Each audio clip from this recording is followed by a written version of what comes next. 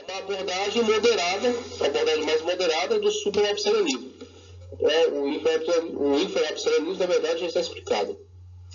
Consenso doutrinário calvinista. Quero dar uma lida nisso aqui e partir para o agostinianismo. Página 8. Página 8. Consenso doutrinário calvinista. Veja. Por volta da segunda metade do século XVI, eh, as duas correntes calvinistas, supra e infra, desenvolveram gradativamente um sistema doutrinário sintetizado em cinco pontos fundamentais. Os cinco pontos são chamados, os, os cinco pontos são exatamente aqueles aspectos da teologia arminianista que diferem da calvinista, e são eles: depravação total, depravação total, os seres humanos estão mortos em, em seus delitos e pecados antes de Deus os regenerar soberanamente e lhes outorgar a dádiva da salvação, o que em geral implica a negação do livre-arbítrio. Eleição incondicional. Deus escolhe alguns seres humanos para serem salvos, antes e independentemente de qualquer coisa que façam por conta própria. Com isso fica em aberto a questão se Deus ativamente predestina alguns para a perdição ou simplesmente deixa. Veja, essa questão de Deus predestina ou Deus deixa. Essa questão de Deus deixar e não predestinar é um eufemismo. É você pegar assim, olha, ficou muito feio dizer que Deus predestina o pessoal da salvação, a perdição. É muito feio esse negócio. Eles mesmos estão admitindo isso com essa, esse posicionamento. Então o que, que ele vai fazer? Não, não diz que Deus predestina para o inferno. Diz que Deus deixa eles ir para o inferno. É, vai para o inferno. Quer dizer. como eles dizem, às vezes nos comentários falam assim, é, Deus ele não, ele não é, predestinou ninguém para condenar. Ele predestinou para salvar. Mas se você predestinou para salvar, consequentemente você predestinou para condenar. É, porque você pega, essa, é, pensa nessa sala aqui, tem 100 pessoas aqui, eu falo, 10 pessoas vão ganhar um prêmio. Se eu disse 10 pessoas vão ganhar um prêmio, eu digo, ó, vocês são as que vão ganhar o prêmio. Pego 10 aqui, escolha, vocês, pronto. São vocês aqui. Chamo 10 nomes. Automaticamente eu disse que os outros não vão ganhar. Então, tudo bem, eu não fiz nada com os outros, eu ignorei os outros, mas eu elegi 10 para ganhar um prêmio. Chamei pelo nome e entreguei o prêmio na mão dela. Aí ah, os outros, eles não querem saber, não é problema meu. Então, automaticamente, é, automaticamente eu disse que os outros não são. Então não, não adianta, por mais que eles colocaram esse eufemismo aqui, essa amenização, mas ela consequentemente caminha para o outro também. Ela está ligada. Não tem condição. No texto de Romanos 9, eu imagino que está falando de judeus e cristãos. Né? É, e como, como Augusto Vairate diz, aquilo é plano de salvação. O plano de salvação que está sendo desenvolvido, a abordagem dele é disponibilizar para todos. Então o que acontece? Todos serão salvos? Claro que não. Por quê? Porque não querem. Não porque não podem. Essa é a questão. Eles são, eles, por que, que eles são condenados? Não é porque eles não podem ser salvos, mas porque eles não querem ser salvos. Eles recusam a salvação. Agora dizer, não, eles são salvos porque foi determinado que eles não serão salvos. Aí a responsabilidade não é mais deles, é de Deus. Porque Deus foi que determinou que eles sejam salvos ou não. Ou Deus determinou ou Deus não quis salvá-los. Acaba dando mesmo. Acaba dando a mesma coisa. E aí ele fala, não, aquilo não fala de salvação e condenação. Aquilo fala de como se desenvolverá o plano de salvação. Eu penso assim, eu penso que Deus precisa ser salvo. Aí entra a presciência, que é aquilo que eu falei no começo da abordagem aqui, é, de sociologia, eu falei, tem coisas que nós não devemos, é, que nós não temos condições de entrar. Por exemplo, a presciência de Deus. Quem é que vai estudar sobre a presciência de Deus? Não é matéria, não tem como. A presciência de Deus ela está dentro da, dos seus atributos incomunicáveis. Então, que Deus sabe, inclusive, que é uma das abordagens de Carlos Augusto Barlatti, ele fala: é, Deus pré-conhece. O que, que é Deus pré-conhecer? Deus sabe de antemão, porque, conforme Agostinho coloca a definição da eternidade, é, tempo, é, tempo é, presente eterno. É o tempo presente eterno. Então você tem, no tempo presente para Deus, você tem toda a eternidade é, diante dele num momento só. Um negócio desse, tem como você entender uma coisa dessa? O que é a eternidade para Deus? Então, é, para nós, essa questão de eternidade é muito vago, muito amplo, é muito difícil de nós captarmos, porque não faz parte da nossa existência. Nós estamos no tempo e espaço. Então a gente tem uma sequência lógica, a gente não tem como é, examinar esse tipo de coisa. Então o que acontece? Para Deus, isso é da natureza dele, é do mundo dele. Deus pré-conhece. A própria Bíblia diz que para Deus é um ano é 10 como mil anos, Mil anos. como um dia. Então, É. não tem esse conceito para Deus. Aí o que acontece? É, em relação a essa questão de Deus pré-conhecer, eles querem associar isso a Deus pré-determinar. E você Na tem que verdade, as pessoas, querem, as pessoas querem colocar Deus dentro de um, de um- Querem pegar Deus e tentar explicar Deus, né? Falando, Explicar. Deus vai caber aqui, É. Deus é assim. Definir direitinho. E, e no final desse texto de Romanos 9, você vê que acho que é Romanos 9, é agora 10, agora não lembro. Eu acho que é aquele hino, né? Ah, sim. Ele fala a profundidade das riquezas. Ah, é. Paulo, Paulo não se depara com se isso. De É. Não Deus. como, E eu acho que a coisa mais linda é a gente não entender Deus. Não tem, é porque senão. Porque se você entendesse, não seria Deus. É. Exatamente, você fala, não, consegui definir direitinho, é isso aqui, mais isso aqui, mais isso aqui.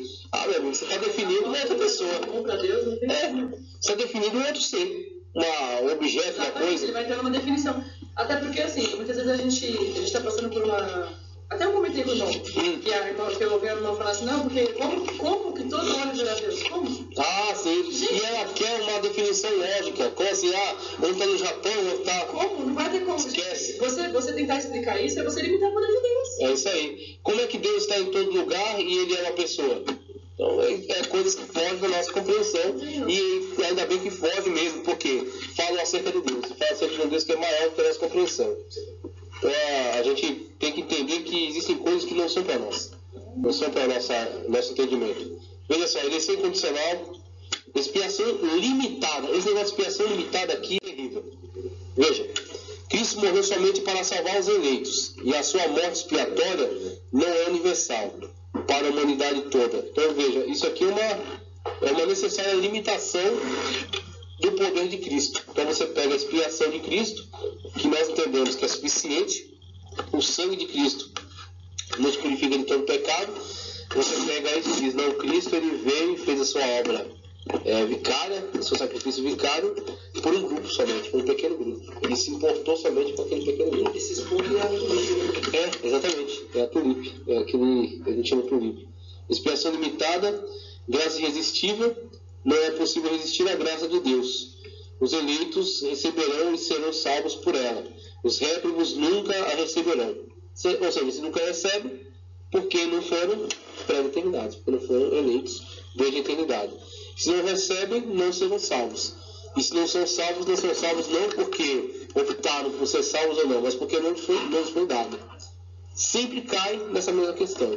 Então a gente tem que tomar sempre cuidado com essa abordagem, a forma de entender corretamente a predestinação conforme a Sagrada Escritura. É, quando você vê, por exemplo, a questão da predestinação, e você pega pela própria palavra, eu penso assim, uma forma bem mais simples do que essas, essas especulações aqui. Essa, algo predestinado é algo que está de antemão destinado. Então você tem, você quer mandar uma encomenda para uma pessoa, você tem que predestiná-la, você tem que colocar o endereçamento para que ela possa ser transportada e chegue até o local para onde você quer mandar. Você predestinou. Então a predestinação que nós temos na atualidade, que a própria Bíblia nos diz, nos aponta, é o Espírito Santo. O Espírito Santo é o selo da promessa. Então se nós estamos com o Espírito Santo de Deus em nós, e o Espírito Santo de Deus habita em nós, nós somos templo e morada, e para sermos templo e morada, cabe a cada dia uma decisão. E qual é a decisão? Se quem quiser vir após mim, tome a sua cruz e siga. É uma decisão. É uma decisão que eu e você temos que tomar. Então, para que nós tenhamos o Espírito Santo, nós temos que tomar a decisão. Abrir mão de algumas coisas na nossa vida que não agradam a Deus. E o Espírito Santo estando em nós, somos predestinados. Vamos chegar até a glória. Vamos chegar até o céu. De uma forma bem mais simples, bem mais tranquila, né, do que essas especulações que tentam falar acerca das, dos decretos de Deus na eternidade, sobre os quais não temos nenhum tipo de, de domínio. O problema é quando uma pessoa começa a ficar assim, é. Ah, então eu tenho que. E começa a se martirizar e para ser perfeito, para ser salvo. Aí ele começa, aí começa a entrar no homem. Isso é verdade, ele quer salvar pelas obras. Você não, mas eu tenho que. Não, eu tenho que que ser perfeito. Eu sei. Então, aí acaba se tornando uma, uma Aí também. você né? viu no grupo lá, o pessoal, extremo e outro. só colocou um tempo atrás os textos de Eclesiastes lá, né, no grupo do Fórum Estudantil, o fórum que o, o pastor Luiz escreveu. E aqueles textos para mim são muito preciosos, são muito bons. aqueles textos lá teriam que ser objeto de análise e mais cultos. Não seja demasiadamente santo, seja demasiadamente justo. E até o irmão trouxe uma definição lá do original, foi muito bom mesmo, foi maravilhoso. Porque aí coloca assim, essa questão da moderação, no sentido da pessoa não. E quando você fala, a pessoa entrou por esse caminho de querer salvar-se a si mesmo, ela começa a cobrar de si, às vezes, é, coisas que na verdade vão trazer uma opressão, um fardo, né, um fardo desnecessário, e vai fazer ela chegar a um ponto de um colapso. Né? Aí ela fala, não, ela não aguenta mais, porque impôs a si mesmo um fardo que nunca foi cobrado, nunca foi exigido. E aí você vê, por exemplo, os, os fariseus fizeram muito disso, né? Eles ataram fardos pesados, jogavam sobre as costas dos outros, dizendo que estavam protegendo a lei. E aí as pessoas estavam carregadas de cerimoniais, de, de, de ritualística, né? tantas coisas que eram desnecessárias, que Cristo confrontava constantemente. Então, a ritualística do lavar cabeça, antebraços, pernas, para poder fazer uma refeição. Cristo chegava lá, lavava as mãos e comia. E aí eles ficavam escandalizados. Mas teu mestre não lava as mãos. Não é Cristo não é anti-higiênico é que Cristo não fazia toda a ritualística que eles entendiam que seria correta para uma refeição. Cristo chegava lá, sentava com o publicano e almoçava. E eles falavam, mas isso é pecado, porque você está se relacionando com o ímpio. E Cristo falava, quem contamina não é o que entra, mas é o que sai. É aquilo que vocês têm falado, as acusações, as injúrias, as infâmias. Né? Aquilo que vocês têm falado tem contaminado vocês. Então você vê esta abordagem de Cristo e dos fariseus. Aqui você tem alguém tentando salvar pelo legalismo pelas obras, a letra da lei. E aqui tem alguém que está tentando te comunicar a essência né, daquilo. Qual, qual é o propósito daquilo? Qual é o propósito que, com que foi revelado aquela lei? Então a gente vê essa diferenciação, essa distância, né? E a gente tem que tomar cuidado sempre para não entrar nesse legalismo, essa coisa exacerbada. Tem uma frase que eu estava escrevendo algumas coisas, você vai lendo e vai pensando bastante. Hum. Aí, é, tipo, assim, não é o sujeito de viver que te torna salvo, né? Hum. Mas é o fato de você já ser salvo que muda o seu jeito de viver. Muda o seu jeito de viver. A fé é toda a sua vida. Porque senão você pensa, eu vou começar a um papagaio, né? Vou começar a copiar para ver se fica parecido. Na verdade é algo essencial. Tem que mudar dentro de você. Tem que se sentir salvo, se sentir perdoado. E aí você começa a ter essas mudanças como consequência dessa salvação. Muito bom. Muito bom mesmo. A perseverança dos santos, último ponto aqui, os eleitos perseveram inevitavelmente para a salvação final. Por quê? Porque não depende deles.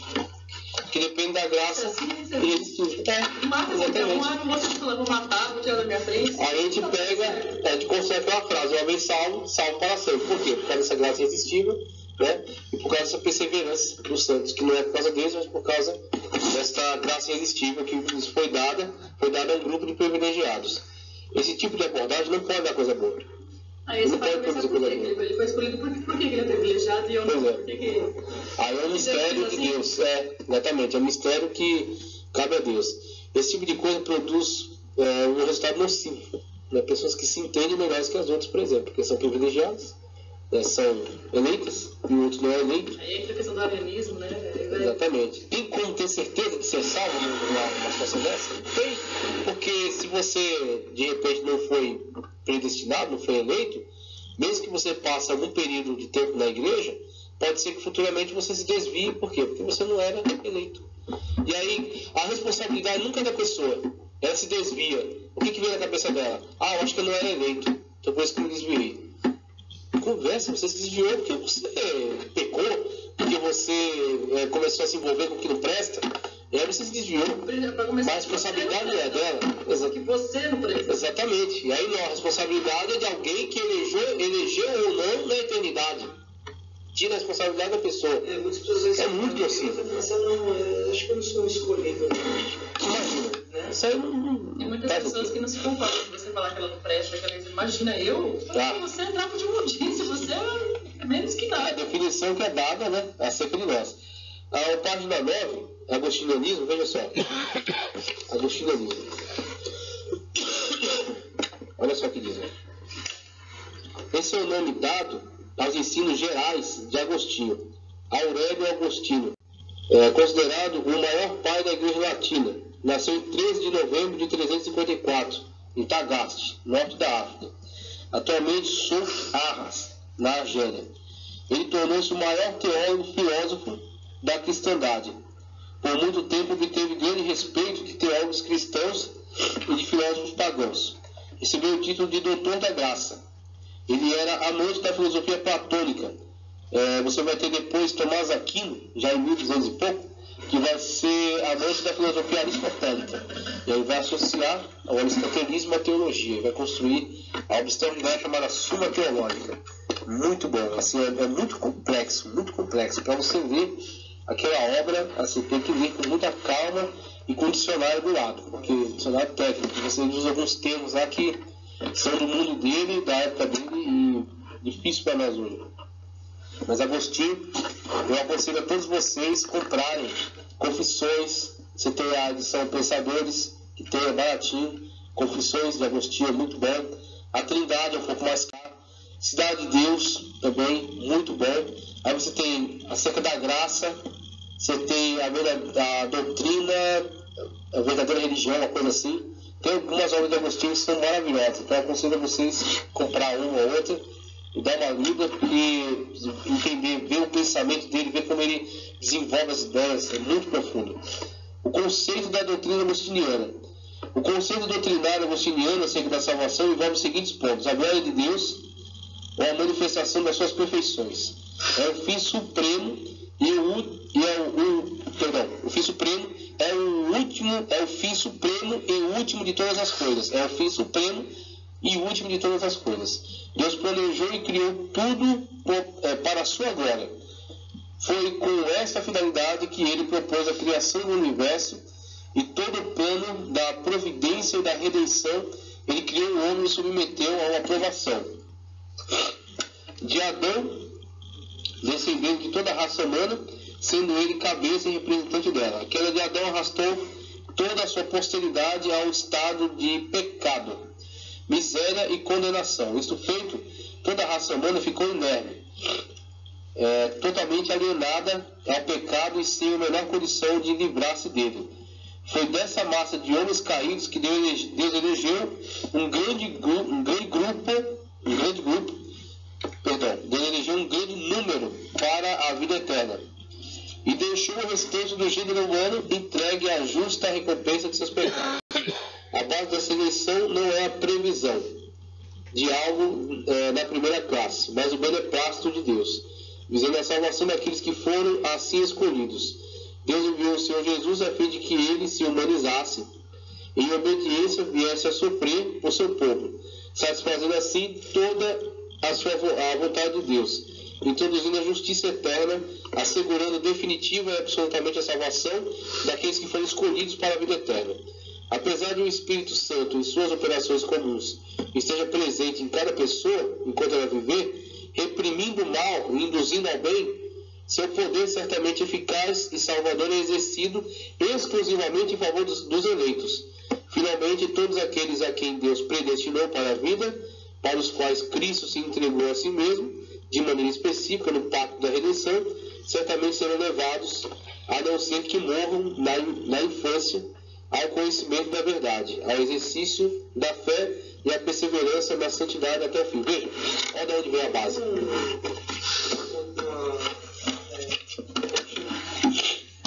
É uma contradição então, no finalzinho ele fala assim, não, sei que morre na infância, né? Ele está dizendo aí, no caso, é o conhecimento da verdade. Então, dizendo, a criança não chega ao conhecimento da verdade. Morre na inocência. E essa questão de morrer, de morrer na inocência, no caso específico de Agostinho, como ele era, é, de fato, ele era católico, e ele defendia esse, essa questão católica, ele entende, se essa criança foi batizada, então ela está dentro do plano da salvação, dentro do plano da salvação da igreja. A igreja tem a responsabilidade sobre a salvação desta alma. Uma vez que ela foi batizada, ela é cristã e ela tem acesso. Se a criança morre e não foi batizada. Não foi batizada, é pagã. Então ela está fora do plano da salvação. Então tinha essa preocupação, na verdade, em relação a essa questão do batismo.